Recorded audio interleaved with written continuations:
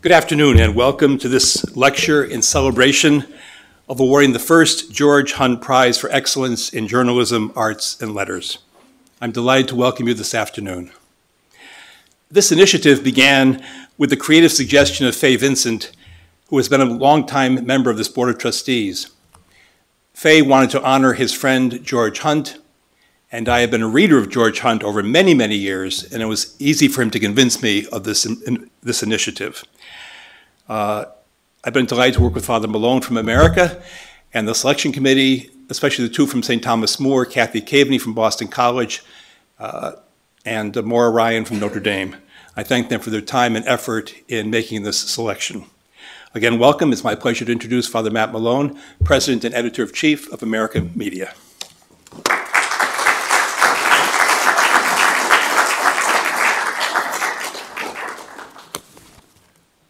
My brothers and sisters, it's a great pleasure to be with you uh, this evening to celebrate the, uh, the inaugural uh, award of the George W. Hunt S.J. Prize for Journalism, Arts, and Letters, uh, which is really an effort to recognize the finest literary work of Roman Catholic, uh, well, of intelligence and imagination in the Roman Catholic tradition. I thought I would just start with a word about George Hunt. Um, who was, as Father Beloin indicated, uh, a great friend of Fay Vincent, uh, without whose generosity we would not be here this evening. Um, Father Hunt was also the, the, the longest tenured editor-in-chief in, in America's history. Um, he had a passion for excellence and uh, a keen eye for uh, young talent, particularly the very finest writers, uh, both in the, in the Catholic and secular worlds. Uh, he was the 11th editor-in-chief of America. He earned a theology degree from Yale Divinity School in 1970, later remarking that his decision to study Kierkegaard uh, here at Yale was the best and most fruitful decision in my entire academic life, for it set the stage for a lifelong study of the literary arts. After receiving his PhD in literature, Father Hunt joined the staff of America in 1981 as the Review's literary editor, a position, he said, that provided the ideal situation to read more widely and deeply. And Father Hunt's voracious appetite for the written word, he would often read three books in a single week, afforded him a deeply sophisticated knowledge of a broad range of literary and cultural topics. As Mr. Vincent uh, later remarked uh, at the time of uh, George's passing, over the years, George demonstrated to me that he knew more than just about anyone alive about football and baseball, jazz, the movies, modern fiction, especially Cheever and Updike, the Civil War, political history, Winston Churchill, Irish history, Tammany Hall and Mayor Tweed, military history, especially World War II, and the list goes on and on. In addition to his hundreds of columns and reviews for America, as well as dozens of lectures and scholarly articles, Father Hunt was the author of book-length works of biography and literary criticism, including John Cheever, The Hobgoblin Company of Love, and John Updike and the Three Great Secret Things, Sex, Religion, and Art. Jesuit author James Martin, the editor-at-large of America, has remarked that Cheever, Updike, and Hunt shared, quote, something in common in terms of their writing styles. Clear sentences, and a masterful command of English grammar and vocabulary, graceful, elegant, and measured. He retired as editor-in-chief in 1998 at the conclusion of the magazine's most successful year to date. Uh, as both the president and editor-in-chief, I appreciate the history of a man who left us in the black, uh, as well as with a much enlarged reputation. He uh, became the, Arch, uh, the director of the Archbishop Hughes Institute for Religion and Culture at Fordham University, where he dedicated himself to exploring the relationships between religion and other aspects of contemporary life. And George Hunt died in 2011 at the age of 74. As I said, he was a great friend of many in the literary world. Uh, he was a great friend of Mr. Vincent's, and it's a wonderful opportunity to be able to memorialize George in this way. Uh, and so when we went about uh, putting together the criteria for this prize, we, we really established criteria that came from George's own body of work. Um, and they were fairly rigorous.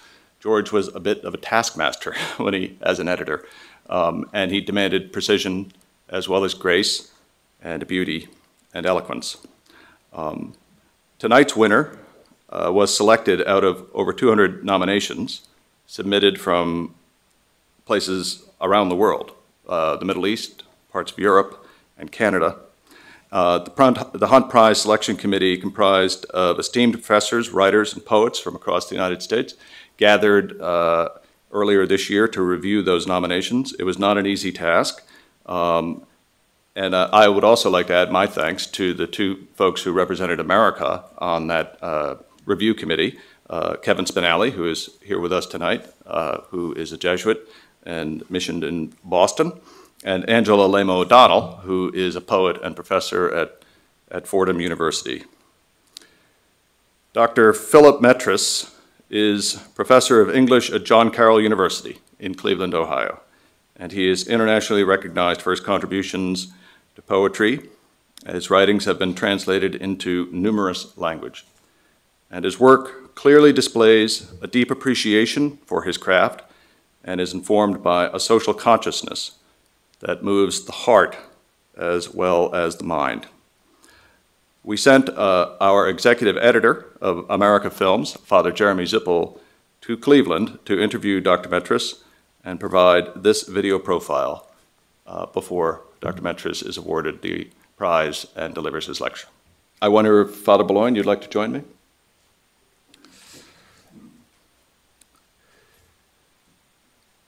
So on behalf of the trustees of the St. Thomas More Chapel and Center at Yale University and the trustees of America Media, uh, we are pleased to present to Philip Metres III the inaugural George W. Hunt S.J. Prize for Excellence in Journalism, Arts, and Letters.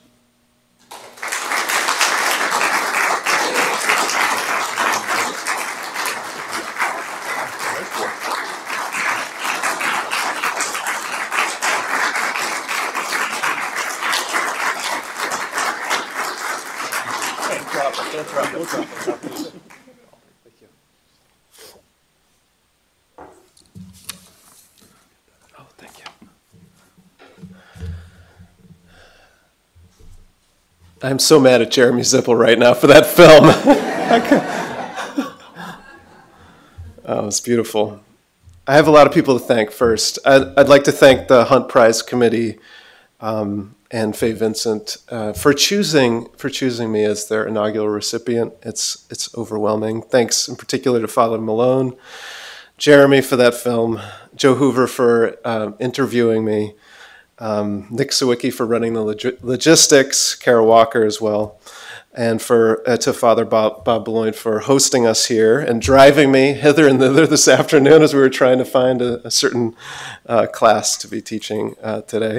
I'd like also to thank uh, Paul Lauritzen, who's in the audience, who is my colleague at John Carroll University, um, renowned ethicist, uh, who nominated me um, out of the goodness of his heart and uh, I think probably his letter had something to do with the fact that I'm here, as well as my colleague Jamie Stayer, Gene Collar, and, and my mentor Bob Cording, uh, a renowned poet uh, from Holy Cross, who was a, a, a, great mentor to me and a good friend now.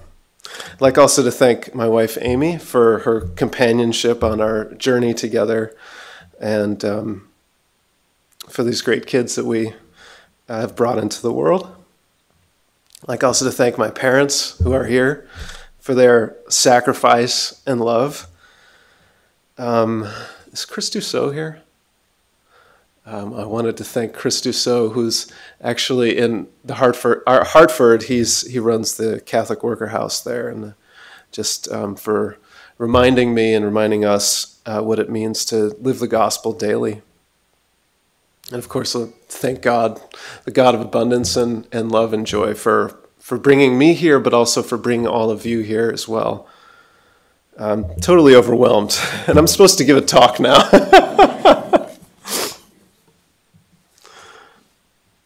so, this talk is called Homing in the Place of Poetry in the Global Digital Age.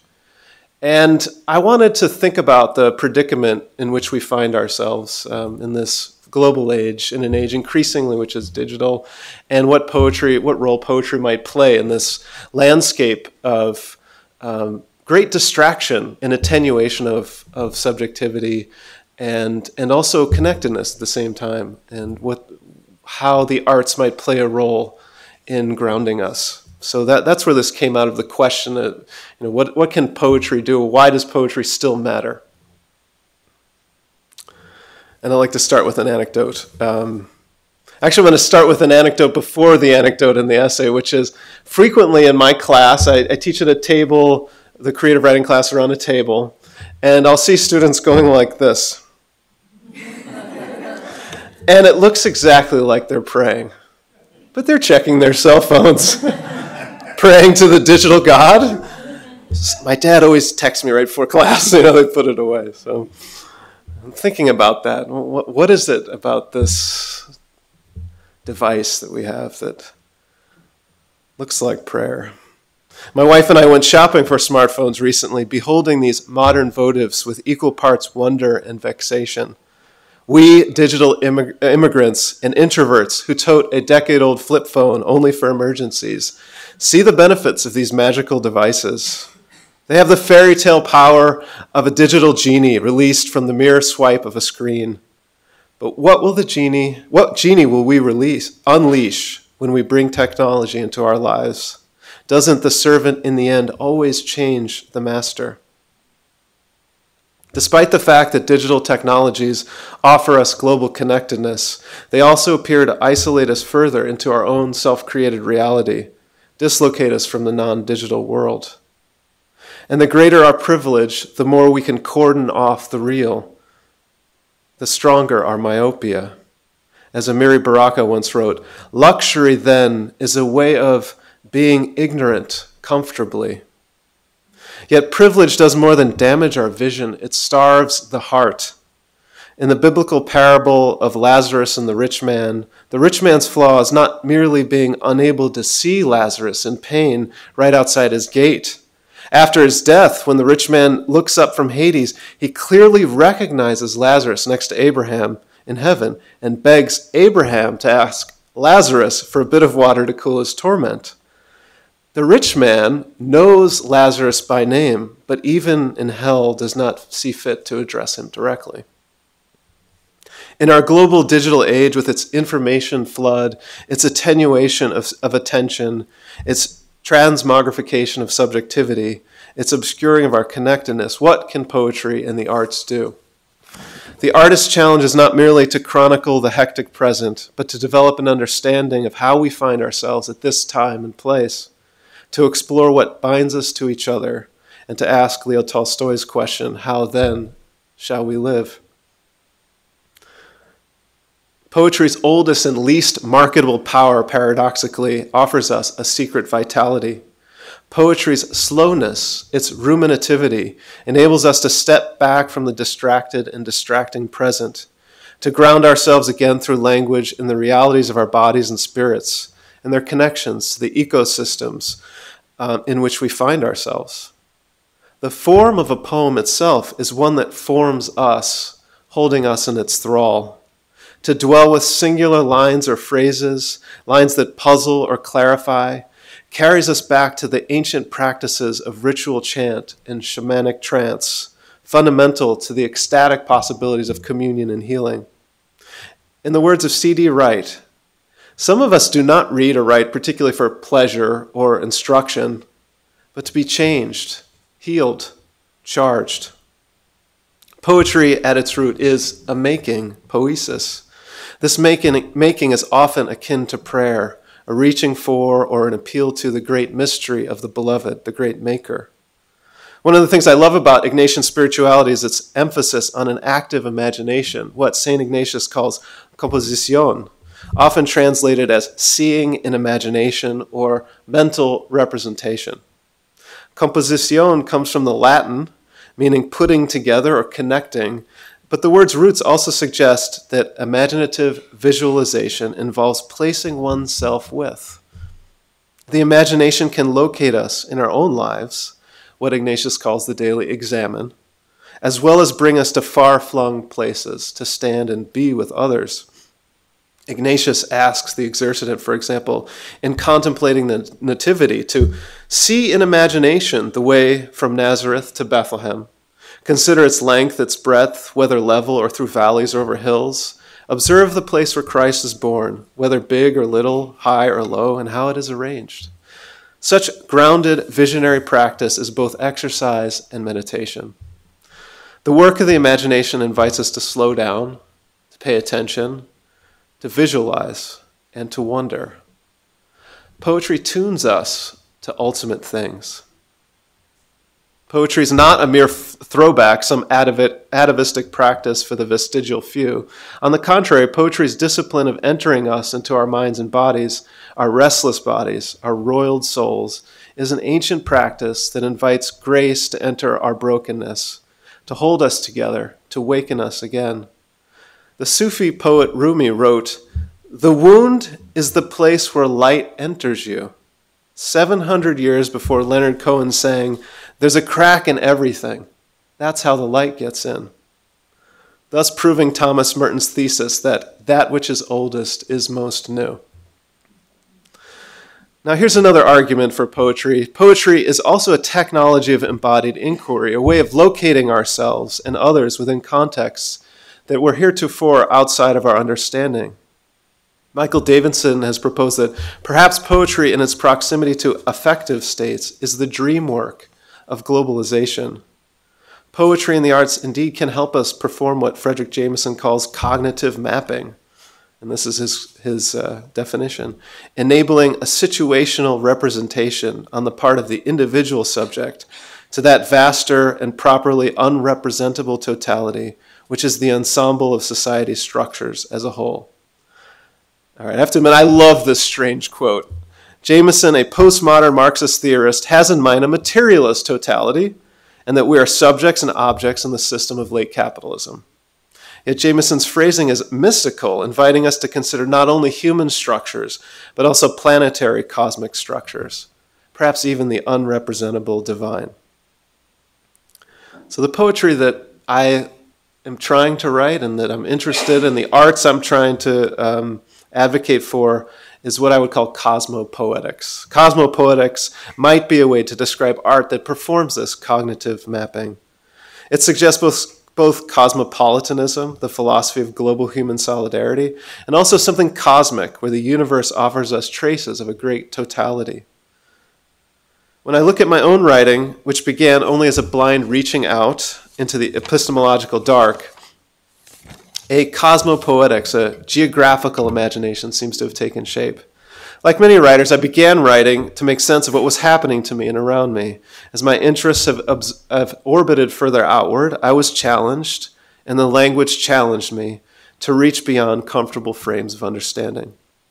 Each place became a portal to new worlds traveling to my grandparents' houses in Brooklyn or Rhode Island, or climbing inside the ancient step pyramid at Chichen Itza in Mexico, or after college living in Russia for a year, or visiting my sister in Palestine, were quantum leaps where my language flailed to reach for some sort of handhold. The questions of travel, as Elizabeth Bishop called them, have often been at the center of my writing. Travel exposes us to otherness, other cultures, other histories, other people and exposes us as other to ourselves. Yet, as Mary Louise Pratt has argued, the trope of anti conquest in Western travel writing, in which an innocent Westerner encounters other places and cultures, can become a strategy of representation that enables one to, quote, seek to secure their innocence at the same moment as they assert European hegemony. So many writers have so many writers have exploited their travel experience as yet another subject to plunder, the imagination as a marauding imperial Columbus. That's why in one poem in To See the Earth, I cite my Russian mentor, Dmitry Psurtsev, who once remarked after reading some of my poems, This is your version of Russia, not Russia. when I speak of cognitive mapping, I'm talking about an essential human endeavor to connect our physicality and our psyches to our surroundings. And it's a bit of a dirty little secret, but Father Beloin actually witnessed it I do love getting lost because getting lost also entails a new kind of knowing. Just when you think you know where you're going, you're lost. When you see you're lost, you're going to find something, something larger than yourself. Yet, cartography and its abstractions are deeply political and have often extended exploitative power arrangements, carved people and peoples apart from the aims of empires. That's why I'm wary of broad claims about the represent- representativity of my representations. So, you know, to see the earth as my creation story, pictures at an ex- exhibition as my Russia, Concordance of Leaves as my Palestine, Sand Opera as my Iraq. Or rather, this is where I come from. This is the Russia in which I lost and found myself, the Palestine that absorbed me, the Iraq that carries me. Sand Opera actually began as a daily Lenten meditation, working with the testimonies of the tortured at Abu Ghraib to witness to their suffering it's become an attempt to find a language that would render visible and to locate the war itself, constantly off screen. War is so distant that the closest most Americans get to is when they encounter a veteran or a refugee. That it was illegal for 18 years, from 1991's Operation Desert Storm until 2009, to take photos of flag draped coffins of U.S. military suggests a level of censorship during war we need to recognize. This policy is designed not only to abstract the enemy, but also to render the cost of war invisible and suppress domestic questioning. More recently, our contemporary program of targeted assassination by drones has yet to be made fully apparent to the American people. My desire in Sand Opera is to make the Iraq War and the wider war on terror, uh, terror visible, to make a visible and audible map of it, a map that we could carry in our ears and eyes in our bodies and hearts to replace the maps of pundits and demagogues. As a poet, I wanted to do this mostly through language, often through language which renders the ruptures of violence, through the black bars of redaction and fractured syntax.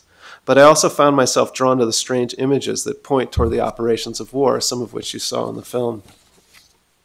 Throughout the book, for example, unexplained drawings of rooms appear, uh, with language floating on a vellum page above them. These are the renderings of Mohammed Bashmila, a former prisoner from Yemen, of what have come to be known as black sites, secret prisons where the US and its allies would illegally hold and interrogate detainees. These drawings are renderings of one who's been rendered, sundered from everything he knew.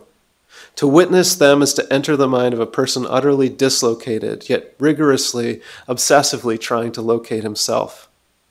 Sand Opera also contains a diagram of a proper Muslim burial from the standard operating procedure manual from the Guantanamo Bay prison. The manual notes the importance of the treatment of the body, the enshrouding process, the prayers that should be uttered, and how the body should point toward Mecca. Alongside the testimonies of prisoners who saw the Quran thrown into the toilet, we are struck again by the gap between our measure of cultural sensitivity and our manipulation of that knowledge for cruel and degrading acts. A poem is a momentary home, a way to home in.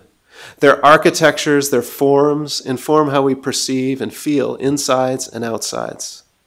In Sand Opera, we stumble among the broken syntax of the tortured in Abu Ghraib prison, stare at the thick walls of a vellum paged black site, trying to read the words of, on the next page seeping around the prison cell.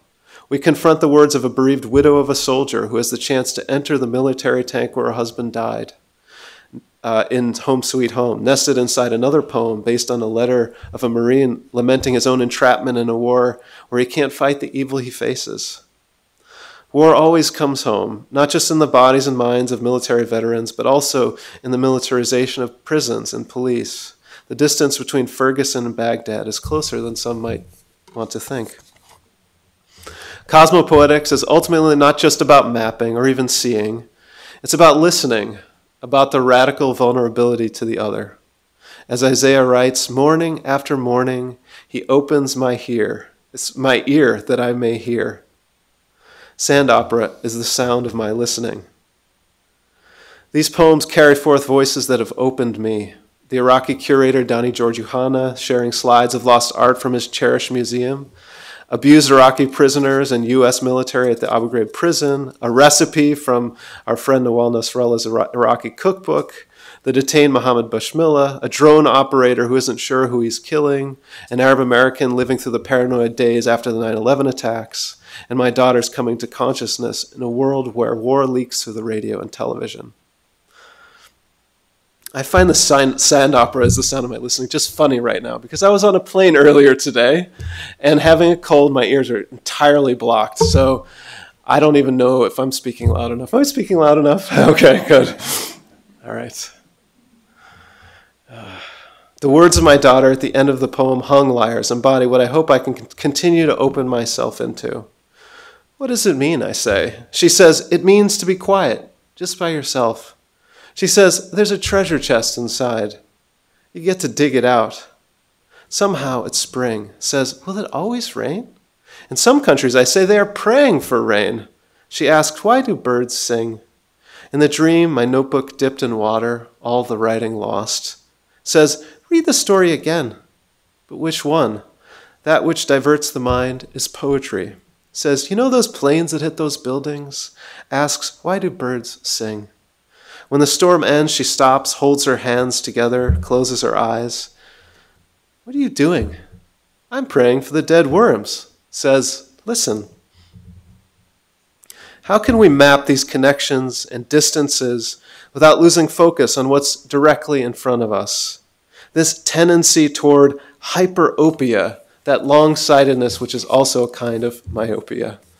I've thought a lot about the ways that my obsessions with distant wars and places and people have frayed me to loose ends, distracting me from intimate joys and domestic peace. At times I've wondered if I've engaged in the poetic equivalent of the father scrolling through his phone while his child finally balances on her bike and glides down the sidewalk in perfect rhythm with herself and her conveyance. How to hold the sight of my daughter's faces, dearer to me than any faces on this dear earth, alongside the sight of someone else's daughter's face, first seen on Facebook, pulling school books out of a bombed house in Gaza to continue studying another day. How to hold and be held by my beloved wife, and also teach my classes, catch up on emails and messages, mow the lawn, take out the garbage, and also find time to click a microloan to a Gazan farmer named Ahmad who needs to buy some hens for his egg business. How do we carry our others and ourselves on this fragile planet? Antonio Gramsci once asked himself so poignantly Is it really possible to forge links with a mass of people when one has never had strong feelings for anyone, not even one's own parents? If it is possible to have a collectivity when one has not been deeply loved oneself by individual human creatures? Hasn't this tended to make me sterile and reduce my quality as a revolutionary by making everything a matter of pure intellect, pure mathematical calculation? Gramsci's question is an old theme, as old as Diogenes' idea of cosmopolitanism. The cosmopolitan idea that we are all connected and that a person on a distant part of the globe is as dear as our neighbor has always engendered the profoundest critique of the cosmopolite, that he's one who loves everyone in the abstract, but hates or ignores all particular people. It's a real danger I have occasionally blundered into, blinkered by vanity or distracted by novelty. Poetry is one of the ways we might try to home in, to claim our ground. Not our digital platforms with the raw earthiness of our own bodies, our beloveds, our kin, our distant next door, human and sentient neighbors, of the communities in which we live and ones to which we're tied. Like any technology, poetry contains powers to both distract and focus us. It is a danger like any power Yet it is one of the ways I answer the question how to ground myself in my own body, my breath, exercising something I have f- for no other word for but love, that radical opening of the self to the other. Now, of course, I, I, was teaching a class today with Christian Wiman, a, a great poet and thinker, and I was thinking, of course, you know, the, the work of poetry for me has always been a parallel kind of labor to the work of prayer. And maybe in some sense, one of the things that's always drawn me to it is the longing for a language might be commensurate to my own longings and my own desires to speak to the beloved, to the great maker, to God. For we are put on this earth a little space, William Blake writes, that we may learn to bear the beams of love. So I'd like to circle back to that smartphone for, for a moment. I'm as implicated as everyone. As soon as the new iPhone comes out, we will finally break our digital immigrancy.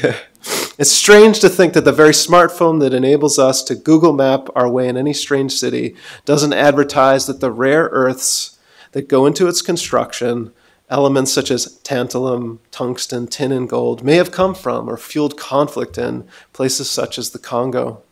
And once a new model emerges and we've worn out the phone, where does this material go when we've thrown it out?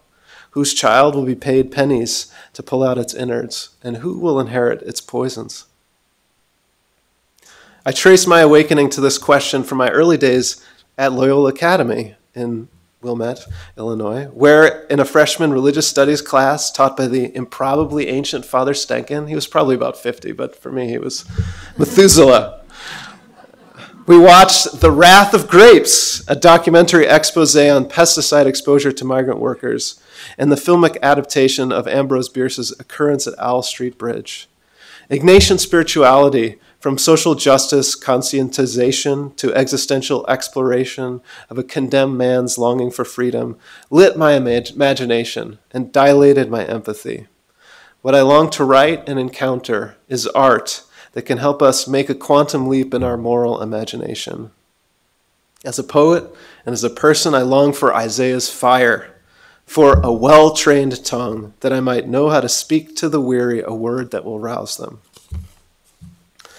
To make poems that will not only open our eyes, but awaken us, pry open our hearts and souls, induce metanoia, transforming how we spend our breath on this earth. And I'm just going to end with a poem that's a prayer. It's called Compline, and in it you'll hear some echoes of Isaiah. Also, uh, our experience as a young couple dealing with a very colicky child and thinking about where we meet God, which is in light and dark. Compline, that we await a blessed hope and that we will be struck with great fear like a baby taken into the night. That every boot, every improvised explosive, talon and hornet, Molotov and rubber coated bullet, every unexploded cluster bomblet, every Kevlar and suicide vest and unpiloted drone raining fire on wedding parties will be burned as fuel in the dark season that we will learn the awful hunger of God, the nerve fraying cry of God, the curdy vomit of God, the soiled swaddle of God, the contented, this constant wakefulness of God, alongside the sweet scalp of God, the contented murmur of God, the limb twitched dream reaching of God. We're dizzy in every departure, limb lost, we cannot sleep in the wake of God, and God will not sleep the infant dream for long. We lift the blinds, look out into ink for light. My God, my God, open the spine binding our sight. Thank you.